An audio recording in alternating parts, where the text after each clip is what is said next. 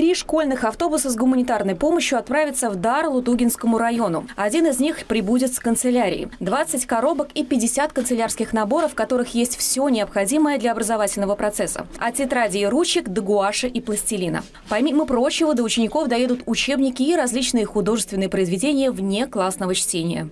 А, продолжая наше такое общение, а, это и очень серьезные воспитательные аспекты для наших детей, для наших старшеклассников, потому что здесь они тоже были заинтересованы в формировании а, вот этих посылок своим сверстникам или младшим ребятам из школы Тогинского района. Кроме того, ульяновские школы РАН, это первая, вторая и двадцатая гимназии, подготовили персональные подарки для школ-партнеров, с которыми взаимодействуют в течение года. Не смог остаться в стороне и Совет отцов Ульяновской области. Представители организации Юрий Мухин отправится на территорию Лутугинского района и проконтролирует доставку гуманитарной помощи.